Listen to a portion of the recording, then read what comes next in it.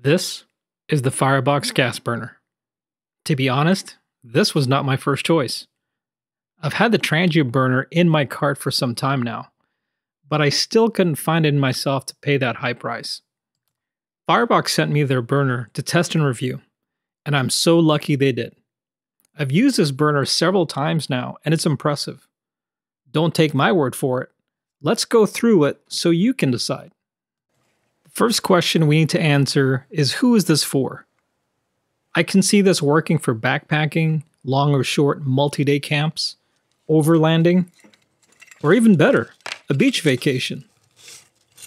One benefit of a gas burner revolves around recreational burning restrictions. In my local region, we are restricted to canister fuels, which unfortunately excludes alcohol stoves. Other times, there may be burn bans due to environmental conditions. Some see these restrictions as a nuisance, but it's there for us to be good stewards to the land. So I really don't mind. So let's get on with it. First, the specs. The weight is 8.1 ounces and an output of 2100 watts. Just know the performance will vary based on the quality of gas used. It's three and a quarter inches long and one and three eighth inches wide. The shielded hose is 15 inches long. It works in all weather conditions above negative 22 degrees Celsius or negative 7.6 Fahrenheit. Make sure you read and keep the operating instructions. Okay, so let's start with this end. The valve is the threaded international standard EN417. You can also purchase this LPG fuel adapter, which allows you to attach to any Lindal valve, like the Coleman style propane canister. They're less expensive, and you can find them just about anywhere in the US. The regulator action is smooth and tight. I like that it takes only one revolution to fully open, but it's still sensitive enough for the finer adjustments. From the regulator, you have a shielded 15 inch hose which connects to the burner assembly. Both ends of these hose do spin freely. You also have these springy wings which locks the entire assembly to the burner pins firmly. The barrel is where the magic happens. There are four carefully sized air holes. Not sure if you noticed, but there is a collar which wraps around the barrel. Yes, folks, you can control the air intake. One of my favorite pastimes in high school was upsetting my chem lab teacher by constantly having my Bunsen burner in campfire mode. It set the mood for my lab team, what can I say? So you can do the same thing with this burner. It's not just for cooking, folks. You can also set the mood. Seriously, though, this is great. Another tool in my outdoor gear that has multiple uses. Most burners are loud, but with the addition of the air mixture control, you can restrict a little air to quiet it down. As we move up the barrel to the flame spreader, you may notice that it's a bit smaller compared to some burners. I appreciate that it's small enough to provide focus coverage for cups, smaller pots, and pans. Now, for bigger pots and pans, you just need to place this titanium plate on top to further diffuse the flame. This is genius in my book. This titanium plate also provides radiant heat for grilling. yes, grilling, just like your backyard infrared grill. This is a game changer. Rest assured, I will be making future videos on the best setup for this burner, so please consider subscribing and smash that bell so you know once it's posted. Let's go through the different installs.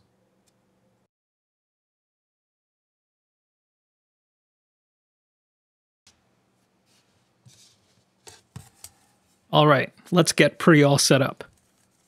We're going to first pass the regulator through the feed hole opposite the wind dampener.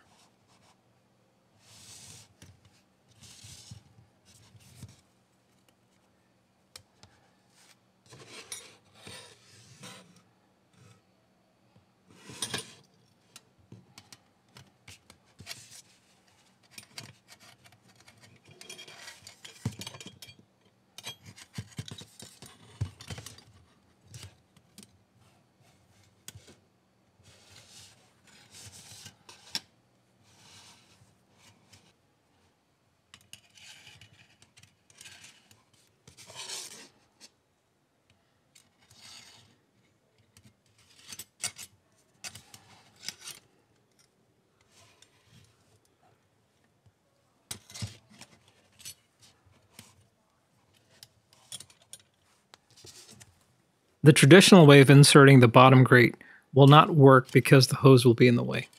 You need to slide the grate under the hose first before pushing it to the bottom.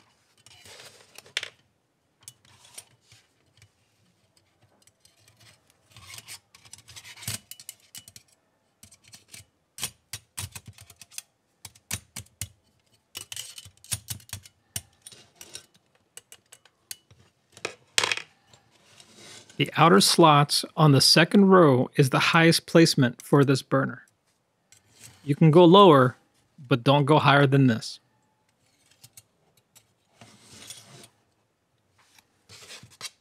You need to ensure the hose is in the center, in between the burner pins.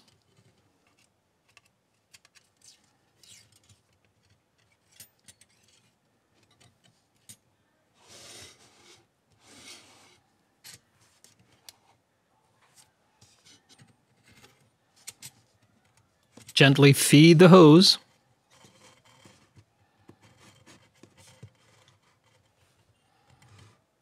We're going to secure this first wing to the burner pin.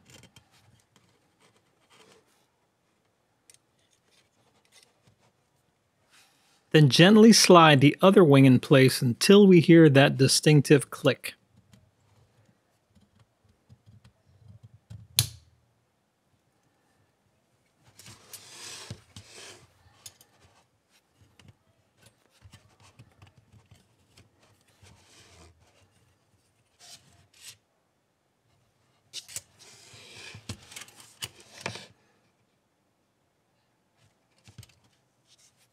You can see it sits firmly in place.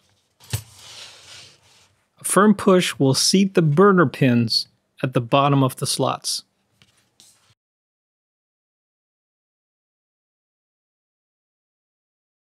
Let's get Frank set up.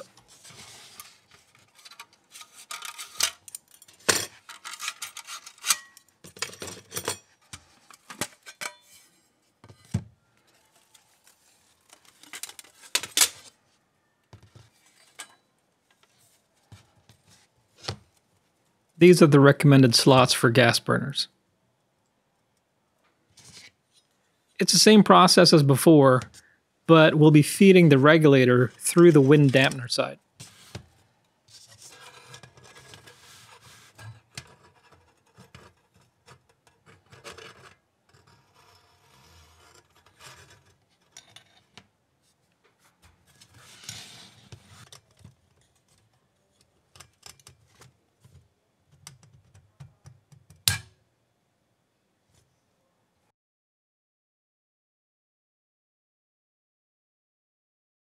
All right, let's get Gidget set up. The setup process is the same as before, but it doesn't matter which feeding hole you use.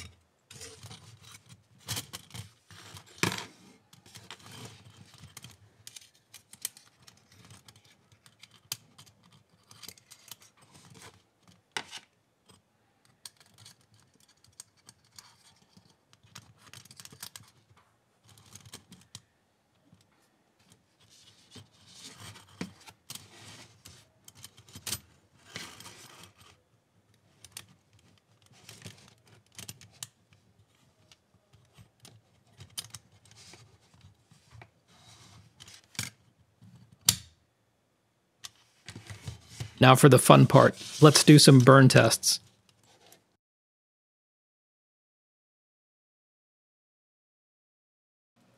To keep the test equal, I'll be opening the regulator a quarter turn for all the burn tests.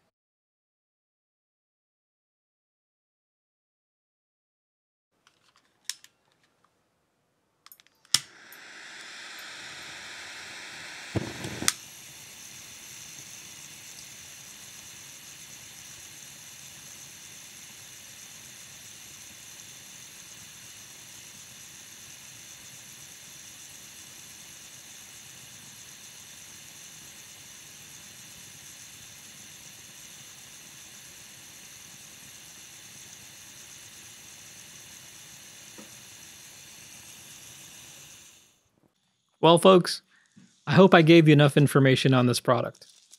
If you like content like this, please smash that like button. I've already shot a few videos using this burner, so if you want to see them, please consider subscribing. Thanks again for watching, and have a good burn.